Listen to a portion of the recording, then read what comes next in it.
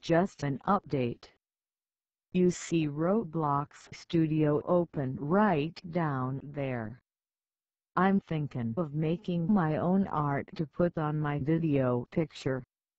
If I can consistently make something good looking, there is a good chance you will see studio-made models on the thumbnails as to show better and more descriptive icons of what exactly the video will feature.